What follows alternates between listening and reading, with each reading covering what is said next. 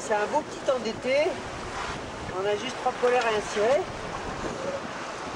Non, c'est génialement beau, c'est plein d'énergie, c'est plein de... de je sais pas quoi. C'est plein de tout et de rien. Et ça fait du bien.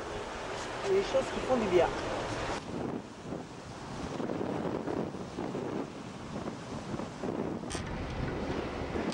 Mais que regarde-t-il? Là on est sur euh, Smith Island, donc dans les Shetland du Sud, et on est sur un versant euh, totalement inexploré, c'est assez fabuleux parce que là c'est le côté nord de l'île. Il faut donc savoir que le point culminant s'appelle le mont Foster, qui donc est à plus de 2000 mètres au-dessus des flots. Et en fait, euh, il a été gravi a priori qu'une seule fois, et par son versant sud, donc qui est opposé à celui-ci.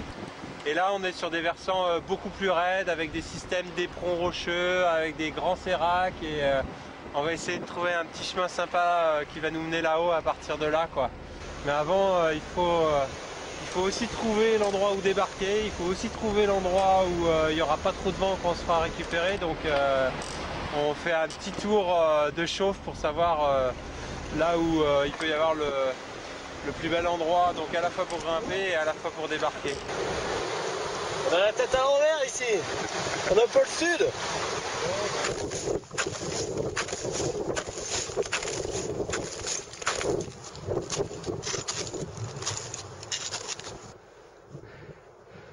Bon les gars, c'est quoi ce glacier là? C'est ouvert hein?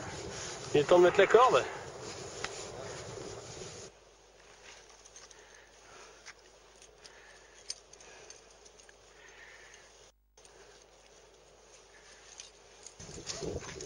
Voilà, ça c'est Patrick.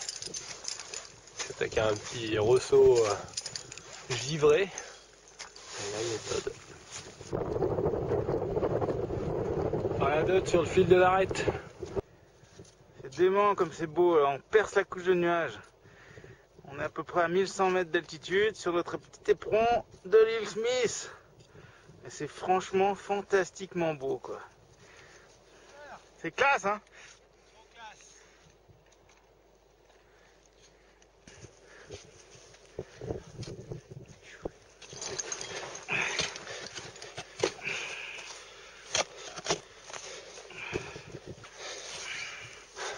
Je vois rien dans Je sais même pas si je te vise.